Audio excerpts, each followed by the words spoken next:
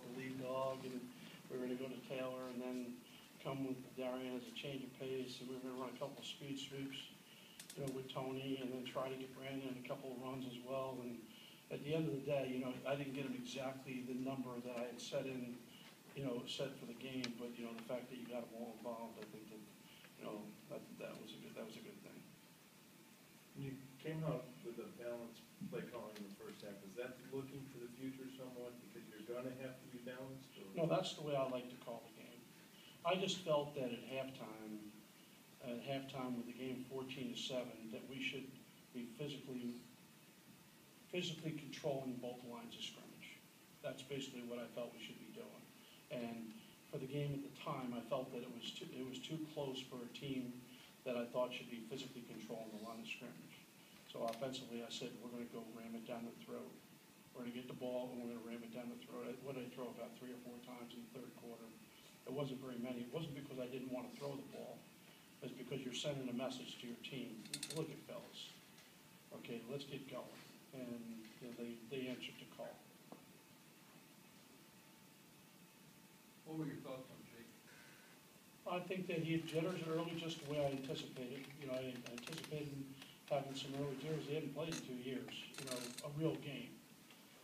But I, there a, you know, we haven't seen those touch passes, like that corner route to Tony, and that ball he dropped into Jimmay coming off, off our own end zone, or that corner route to Jimmay. We haven't seen those, you know, not since I've been here, that we had, you know, that, that, you know, type of throw be able to be completed. So I think that, you know, I know Jake, he'll be madly disappointed in himself, but, you know, I'm not. I think that it was, you know, that's just a nice sound start, something that we could, we could throw on. Can you talk about the difference between Miller and Sims, and kind of what you saw from them tonight? Well, they're different style of runners, you know, one's, you know, one's is uh, a power slashing runner, and the other one is, uh, is a, a a shake and bake, you know, you know, a shake and bake type of runner where, you know, he's, he's, he's quicker than fast, and they're different, you know, they're different body types and they're different style of runners, but they're both, you know, they both have, have very good ability. Last year, you didn't have a touchdown pass to a wide receiver. You got one today from Justin McCay. How do you continue to, to do that? Well, I thought we had one of Josh Ford, to tell you the truth, you know, but, uh, uh, as a matter of fact, it was the first score, and I said, okay, now, everyone please shut about, shut up about the, with the wide receivers, so, uh, uh, as a matter of fact, on the touchdown to Justin, I thought he was gonna throw the ball in the five to Tony, I said, just throw it to Justin, please, get this over with, you know, but, uh, I think it, I think that you won't have to worry about us scoring, the wide receivers not scoring any touchdowns, I'm not saying because they scored one tonight, and I'm not saying we're gonna have nine hundred touchdown passes, but I think the receivers will be involved and they'll be scoring some touchdowns. Who got the biggest response on the sideline? Was it when Justin caught that touchdown pass or when Wyman kicked that field goal? I think the field goal, I found it hysterical, you know, and I, as a matter of fact, I'm sitting there with the headset like this, I said, now listen to this crowd when he makes this field goal. It was almost as big as when Pardula kicked the second kickoff out of the end zone. I mean, life's little pleasures, but you know, you know, as I've been telling you, basically what I've been describing to you is what you, you saw. You know, you saw Wyman make that, you know, like it was no big deal, and Pardula hit, you know, hit, you know, kicked the ball off well and punted well, and that's basically, you know, that's gonna be important as we, as we move on in the season here. That is not a, a very, that's, that's a very important thing to note coming out of this game one, that, you know, what we were talking about with these two guys, that's what we have, and, you know, that, that thirty-four as a punt return, he didn't look too bad either. I was gonna ask you that, is that the biggest takeaway from tonight? You got the block punt as well, I mean, special teams as a whole looked very improved. Well, everyone was worried about how this was gonna play out, you know, you know, with all the coaches involved and all the special teams, and the only error was a coaching error. Uh, when we had twelve guys on the field, and that was a miscommunication between the special teams and the, and the defensive coaches. So I'll take the blame for that one, but, because we talked about that in the locker room after the game, but that's fourth and four, you know, you get in a critical situation, you know, a critical situation, that's, you know, that's a first down, you could end up losing for, for something like that. So even with the coaches, it gives us something to learn from, because out of all those penalties, that's the one penalty that you could definitely blame, you know, strictly, strictly on coaches not, uh, not, ha- not being organized there. How do you The think penalty, that, Were you trying to get a timeout call to prevent that? Well, they sent their punt team out late, so we were keeping our defense on the field. There were a couple times in the fourth quarter, we weren't, we weren't taking our defense off the field on fourth down regardless of what they did. Like the one time when I took the penalty on third down, uh, it was gonna be fourth down and four, and I took the penalty, the, the chop block or whatever penalty. You say, well, why would you do it, it's fourth down, because they're gonna go for it. That's, that's why, you know, there was, there at the time of the game where they're gonna go for it in that situation right there. Then they completed a twenty-five yard pass up the sideline, and I looked like a dummy, but that's beside the point. That was the rationale, that was the rationale at the time, you know, so I think that, uh, going back to, parlaying your question back to the question that Matt just asked, I was, I was very pleased overall with the overall performance of the special teams, but I'll have to wait till I see it, that, that'll be my seven o'clock to eight o'clock hour tomorrow, so mm-hmm. that, that's when I'll get to that. Ben Heeney spent a lot of time on the sideline tonight, why was that? He was cramping. As a matter of fact, he wouldn't be, he wouldn't be okay to be one of the people that was speaking if he were injured. You know, so I, I had to find out what it was too. But that being said, I thought Schyler Miles stepped up, you know, and all that's the Schyler Miles that I recruited. That's the Schyler Miles that I remember, and I never saw him last year. I mean, so you, you wouldn't even notice Ben Heeney not in the game really, other than the fact that it was thirty-two instead of thirty-one. And that, that's, that's a good thing, you know, but, uh, Ben just was cramping up, and as you noticed, the game went on to a bunch of them cramping up. But, you know, it was, it was toasty out there. We've been hydrated for days, but still, it was, it was toasty. You Oh, get- We saw a little no huddle, is that something, early in the first quarter, you showed that no huddle, is that something we can see more of? We've been practicing it every single day, you know, and you notice that we did it for extended periods and then we went in and out, you know, and that's what we've been trying to get to. And the reason why you do that is the versatility of, of Tony and Brandon. Because those guys could go in and out of being in the backfield or being detached as receivers. You know, I never had that before, but now you have that. I haven't had that since, to be honest with you, if you're a Chief fan, since I was around Dexter McCluster. That was the last time I've had something like that, where you could say, hey, you can put him in the backfield, but now all of a sudden he's a slot receiver. So with those two guys, you know, they give, give you an opportunity to do that. you could give some of the guys as they were coming off the field, like exhaling, finally is one of the words that they were saying. How long do you let them celebrate this before you turn their focus on the right? Well, they still won't be allowed to go to the bars tonight, in case you're wondering. Okay. Uh, I, I told them that they should really enjoy the win and go spend time with their family and friends. I said, but it's just the first step. I said, now, you know, the jury will still be out, you know, it's thirty-one to fourteen, everyone will say, well, that's what you're supposed to do. And now you get an opportunity to take the next step. And I think that I want them to enjoy, it's been a long time since they won a game here, it's been a year. I want them to enjoy, enjoy themselves tonight, but tomorrow morning, or tomorrow afternoon at noon, when treatment opens up, and, you know, then, when- then when they lift and run and everything like that, and meet and meet, it's time, to let's get this game behind us and, you know, enjoy the game a little bit, but get the game behind us, use the mistakes we made to learn off of, and let's start to get ready to get into a normal routine. I like normal structure. I don't like cutting weeks off. I didn't like last week. You know, the guys are in school, the natural progression is to play a game on Saturday. All right, so now we're in that, we're in that for the next, you know, few weeks before we get a bye, and I'll be miserable again. Okay, but until we get to that bye, for the next couple of weeks, we're in a normal routine, and I think that both coaches and players are creatures of habit, and, you know, feel, get into a comfort zone when that happens. Coach, you said when you interviewed with Nate, there's nothing that you guys did tonight that would frighten Rice necessarily. Is there anything about Rice after you see your team tonight that kind of frightens you as you have to get ready for next game? Well, as I watched their game the other day, I was very impressed offensively, how they, how they took it to Texas A and M. I was very impressed. Now, I'm not, you know, critically evaluating Rice at this point. I want to savor South Dakota just for an hour, okay? And I would like to enjoy that, but, you know, as I watched that game, I was, I was, I was impressed how they moved the ball, um, in, in that game on the road. So I think that, you know, hey, look, we have our work cut out for us every week, what's the number, another thing we got to take care of? When that, we got that win, okay, we end that million game losing streak. Now we gotta go on the road, we haven't won on the road in a while, and next week gives us our first opportunity to go ahead and do that. I think in the spring, you said it was Keon that was ruining practice. Was that how he was doing it, with the interception and the pick six? Yeah, was he also the one who celebrated, or was somebody else, because I never saw, Somebody else. it was somebody else? Goodman, I think, with the helmet on. Great. Yeah. That'll, that'll, that'll, that'll go over well tomorrow, you know, because I didn't see it, no.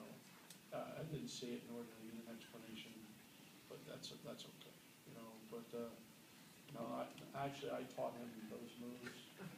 Uh, He was trying to do, you know, his, his high school compadre clown, he was trying to do his best clown imitation, right, you know. But, um, that was a big play, you know, even, even, we ended up getting penalized a hundred yards on the play, it was still, it's still, a- it was a, still a big turnover in the game. Did the nine penalties bother you? Yeah, it just, but the best, not the best part, but if you're gonna have it, Tom, have it first. Because now you know what I'm gonna do. You know how unmerciful I'm gonna be on, on them come tomorrow. You know, so you now can take those nine penalties and use it as a teaching tool. Remember last year, we weren't any good? Okay, but we were, we- but we didn't commit a bunch of penalties. Okay, so now, now you get to say, hey, this could cost us the game, this could cost us the game. And you also include coaching on those penalties, when you say that like that, that substitution error right there, you include that in there, okay, as one of the things that could cost, that could cost you a game. Charlie, because you have so many newcomers, I mean, are you hoping that you guys have a lot more ceiling that this, that you guys? Oh, not, I'm hoping, we do have a lot more ceiling. There's zero doubt in my mind that we're not, we're not close to where we can. But we have a lot more ceiling. There's, I mean, there's some guys that aren't even playing yet that are, are gonna end up being major factors here. I mean, I'll use a guy like, uh, Rod Col- Rodriguez Coleman. I mean, he might end up being one of our best receivers, but right now, he's playing behind, you know, you have to, you see it the way it is in practice. Okay, and I think at the end of the year, he might be, he might be one of those guys that everyone's talking about. But right now, he's running beh- behind both Christian and Trey. I mean, and I'm just using him as one of those guys that, you know, you look at him in practice, he has the potential to be the best one. I mean, so, you know, it just, there's a lot of guys like that, that, you know, right now, might be second team or third team, but by the end of the year, they might be one of the reasons why your team got better in a. He expects short to be a one-week deal, you know. I've already given you, you've already got what you're getting out of me today. You should know better than even asking that one, Austin. Okay, why do I send it up to the press box so you guys already have it? You know, that's what I know. You know what I know. And you, and I've said what I can say. And, and when I know something, I promise you, you will know. Okay, when I know, you'll know. Going back to Justin, how happy was he just to catch his first touchdown pass after? I don't know who was the happiest, him, Ianello, Heaps, Grunnard, I mean, Trey, Montell, I mean, it had, it had the whole Bishop Miege contingent, I mean, there were a lot of people. Now, the head coach was kinda happy too, in case you're wondering, he wasn't too, he wasn't too mad either, but there were, there were a whole bunch of people that were pretty happy to get that out of the way. You changed some things around as far as the, the coaches being on the field and things of that nature, some of the communication. How do you feel that went the first game? Actually, it went pretty smooth. I tried, you know, I was, I went to coaches coach more, you noticed, I, you know, I wasn't, you know, I, I, I, I stayed down by the defense when the defense is on, let the offensive coaches coach their guys, and, you know, I didn't say too much, every once in a while, say, what do you got? Or, you know, in the fourth quarter, I wanted to make sure that they understood that I was, we were gonna play four down territory, you know, we were gonna play them to play for four downs when it got to three scores. When it got to three scores, I didn't care if they were punting or not, we were gonna play, we weren't gonna take the defense off the field on fourth down. So I'd click on and say that, but other than that, I thought that, I thought that, you know, everything was fine. Now, you have to understand, that pace that they were running is not the pace that's about, that's about ready to hit them. Okay, but it, it was a good start. Charlie, how much do you want to see Sims leave here with not only his individual success, but also some team success? Um, I think that James is, is typical of a lot of the fourth and fifth year players here, okay, that it would be really nice if they could leave, leave here on a, on a good note. I mean, he's a heck of a player, he, you know, we all know arguably he has a chance to, you know, as he's moving up the charts, to challenge for right up to the top. You know, and if he stays healthy, if he stays healthy, there's, there's a chance that ends up happening. But we don't play, we don't play for records. You know, the only one record that we're playing for is wins. And uh, I think that, I would think he'd trade yards for wins every day of the week. And he's a very unselfish player, and, and he's the one player at the end of the game came up to me in the locker room and apologized to me for fumbling. He said that just was, he was a lack of concentration. It's really nice when a player comes up to you, you don't have to say anything, he came to look you up, to apologize for fumbling, that's, you know, that- you know, you, you know he's on your side. With such a diverse running game, is he gonna be able to ex- distinguish himself, you know, from everybody else and maybe reach those records, or? I, I just said, I'm not into the records, but I, you won't have to worry about James not being the lead dog, because, because he will be. You know, those, everyone else is complimenting him. He's, he's the number one guy. He's the number, there's, he's the number one guy. Everyone else is complimenting. What was the mindset of going for it on fourth down near midfield uh, at the beginning of the game? Which one, the one we made The or one the the one we first didn't one that you did. Actually, I was trying to draw them off sides. Uh, okay. Okay, and it got late to count, so we threw our, our fourth and six speeder that came up fourth and five and a half. So in that case, you looked at, you gotta get another half a yard, you know, but, you know, I thought with as quick as we were snapping the ball, but we used a hard cadence, thought we had a good chance of drawing off sides. So I had one of two choices, run the play called or ball timeout, and I felt that we could, I felt we could, you know, what I was trying to do is get it to fourth and one, to be honest with you. I get them to jump off sides. And like you said, now you, you're, you're at the time of the clock where either you run the play, you either run the play called or you call timeout. And I figured I'd just go ahead and let it run.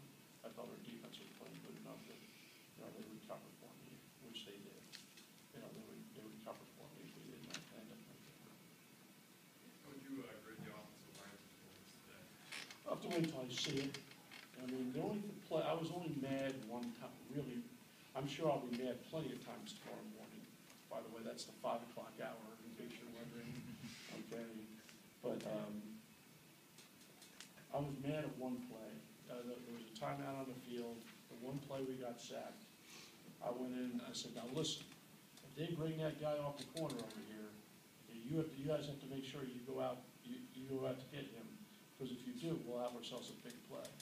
And there was a miscommunicate, there was miscommunication amongst the linemen. I know whose fault it is, not really important that you know, but, um, as a matter of fact, the guy yelled at, it wasn't really his fault because somebody else had made a call to keep him from going out and blocking the guy.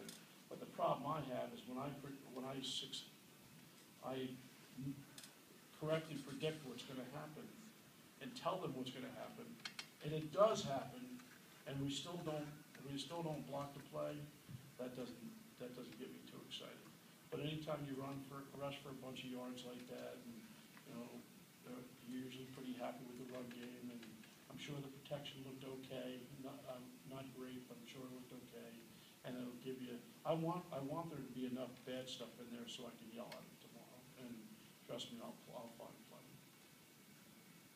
Toward the end, uh, Taylor Cox kind of buckled going on about, is that a cramp? or- Yeah, I didn't know, you know, hope, I'm hoping it's a cramp and not a tweak in his hammy, but, you know, you know, that, that, you know, it could be either one, and I talked to Murph at the end, I said, "Did- did he tweak his hammy or did he cramp? And he goes, I'm not sure yet, till after they get in there and work on him, so I don't know which one it really ended up being.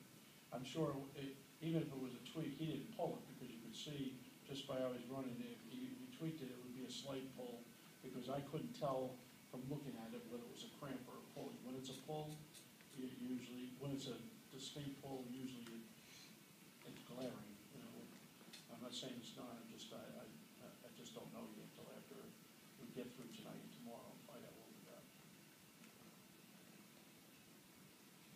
Can you talk about uh, the JUCO players that you had that got their first action tonight? I think they're happy to get that game under their belt, to be honest with you. You know, there's been so much talk about, uh, you know, all these different guys and trying to mesh them all together right there. And, you know, I'm sure some will play good and some didn't play good. and- But then, at the end of the day, it's nice for everyone